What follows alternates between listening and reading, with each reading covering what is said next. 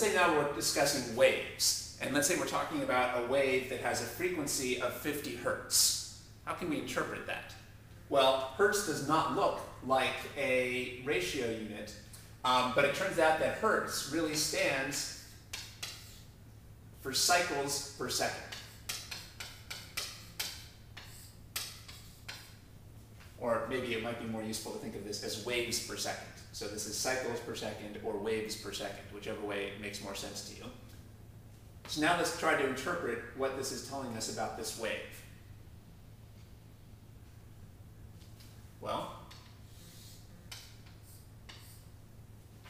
it means that in one second, the wave goes through 50 cycles. Uh, even if you haven't really studied waves very much yet, uh, I hope that you um, basically understand the idea that a wave is something that oscillates. Maybe a wave is something that's oscillating up and down.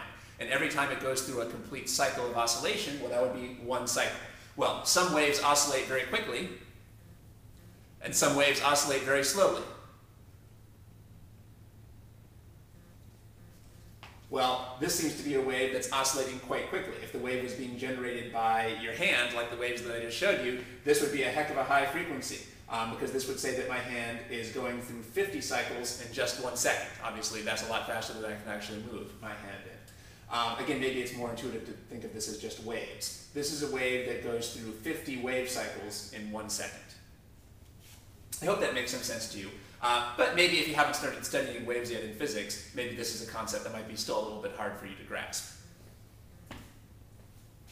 So let's say we have a wave um, that's at 70 hertz. What does it mean if the wave is at 70 hertz? Well, we just learned that hertz is cycles per second, so that means that in one second, the wave goes through 70 cycles, or that in one second, 70 waves are accomplished.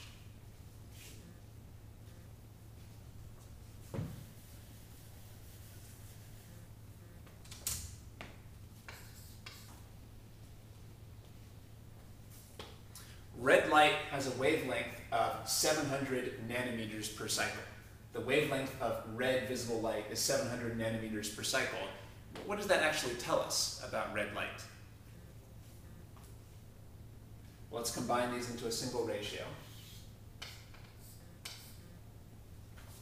It means that if you were going to draw out one cycle of the wave, that one cycle would only cover a length of 700 nanometers. Of course, a nanometer is just one billionth of a meter.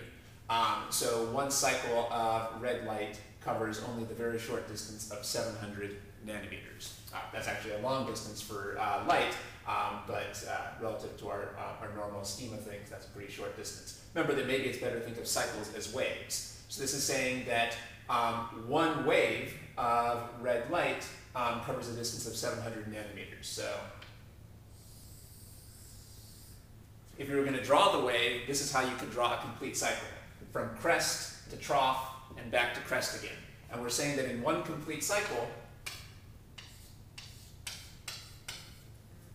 the distance from one crest to another crest is 700 nanometers. Actually, a lot of the time when people talk about wavelengths, they leave out the cycles. They might just say that the wavelength of the light is 700 nanometers. But I think that you get a lot more insight if you think of the units as a ratio unit and think of it as nanometers per cycle rather than just nanometers.